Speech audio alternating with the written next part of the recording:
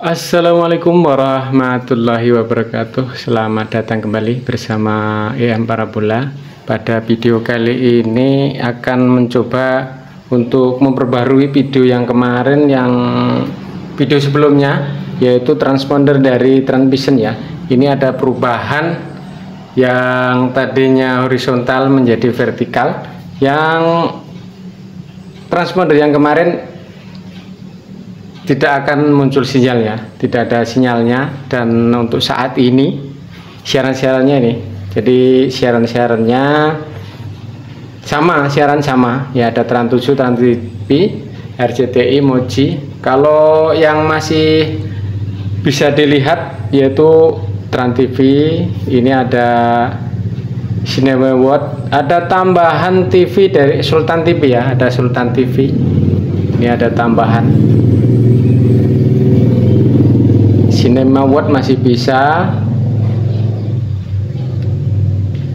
XN masih bisa ya. XN Trans TV terus untuk Indosiar SCTV Moji dan MNC TV Group harus top up pembelian paket. Ya jadi berbeda. Untuk Trans 7 bisa GTP MNC masuk daftar paket juga. Kalestel Movis masih bisa ya. CTC CTV si bioskop masih oke. Okay. TVN masih bisa. Nah ini ada HBU nya halo HBU dan lain-lain tentunya ini harus menggunakan paket Movi atau HBU ya. TVN bisa KBS masih bisa. One. Jowo nggak ada. Harus berlangganan Warner pun sama. Channel network.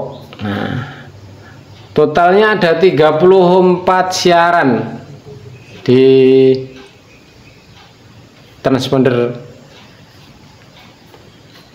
transmission ini. Dan transpondernya yaitu kita coba cek kemudian scan ulang yaitu nah ini transpondernya.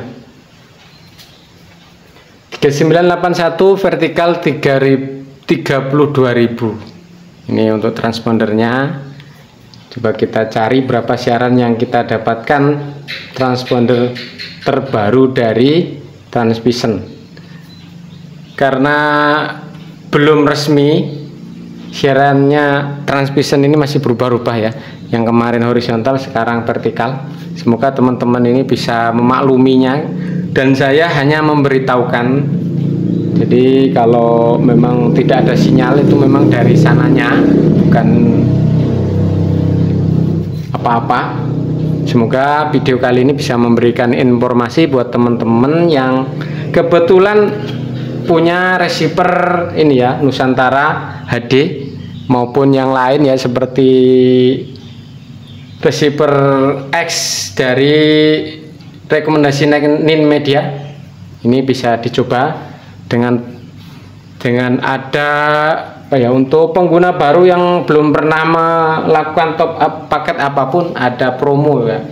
Ada promo di situ keterangannya paket gold 12 bulan yaitu 47.000 next video dari EM Parabola. Assalamualaikum warahmatullahi wabarakatuh